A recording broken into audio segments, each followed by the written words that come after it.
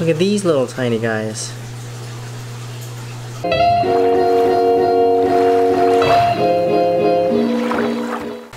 Hello guys, welcome back to another video. So as you can see in the title, I'm gonna walk through a couple of steps in breeding crayfishes. Uh, I'll do a detailed video later on on you know the baby crayfish setups and then um, how to properly care for them and what the best layout for the crayfishes are. But uh, I don't know if I actually did a video on these guys. Um, so uh, like I think yesterday the pregnant crayfish, the female crayfish gave birth and then let go of all the baby crayfishes. So there they are. I have about, from what I expect, about 50 baby crayfishes. And this is what they look like. They're super tiny. They're all over the tank in this 20 gallon tank as you can see.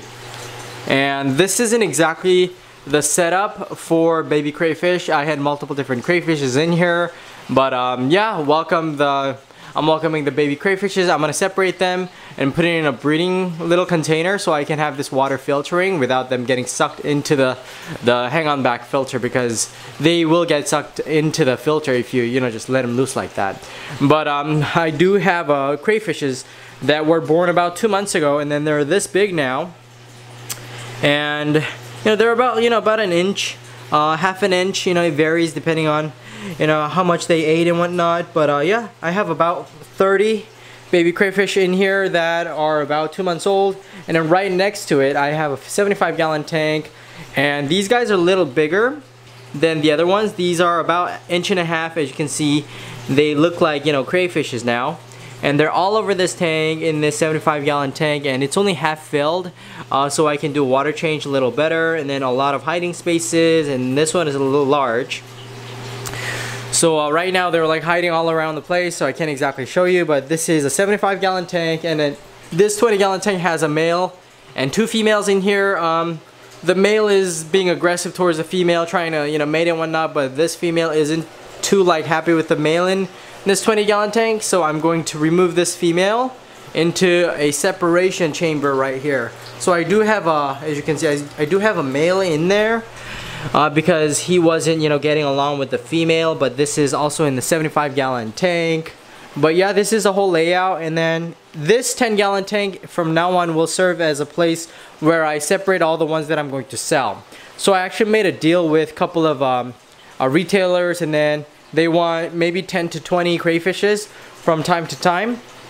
So I'm going to separate the ones that I'm going to, you know, that, that are going to ship out in this 10 gallon tank I'm actually to empty out this tank, get rid of all the gravel so I can do a maintenance uh, quickly. And then this 10 gallon tank right next to it has a male and female in here. And this male um, did a really good job trying to mate with the female and the female currently is pregnant, is buried. I don't know if you guys can see, but uh, her, her under belly, she has a lot of eggs. It's kind of difficult to focus. But anyway, this 10 gallon uh, tank has a very beautiful male. I'll probably have to move him out uh, because his, this tank isn't actually doing anything progressive. So uh, and underneath I have a about 15 gallon tank that has bunch of baby crayfishes that are you know a large now you know pretty big about an inch to half inch but they don't seem to do too well so I'm going to move them into the 10 gallon tank that I just said and see uh, what I can do with this space but yes this is a breeding room space that I have in my in my place um, a lot of 10 gallons and 20 gallon tanks and uh, kind of mixed up setup. So I'm in the in the in the in the, in the way of uh, figuring things out right now. But uh, yeah, I do breed crayfishes now, and I do have a lot of tips and guides for you guys if you guys don't know how to breed them, and if you guys have a lot of questions in terms of how to care for the young. And I'll do a live and maybe you know a video and whatnot. But the one back there, uh, he grew really really big. He's the largest baby crayfish in this tank. I'm gonna have to remove him since he is so aggressive towards the smaller crayfishes as you can see the size difference. But this one was born um, at the same time along with the other crayfish. I don't know how this one got so big. Maybe it was eating the other baby crayfishes that are weak. So I'll probably separate this guy into another tank. And uh, yeah I'll go from there. And then these little tiny baby crayfishes that are born like yesterday I'm gonna move them into uh, little breeding tanks.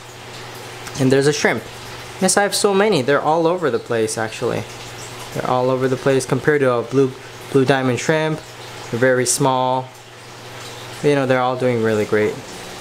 So yes, and the filter came on. And alright, let me get into doing this and then I'll see you in another video with uh, crayfish breeding information. Bye!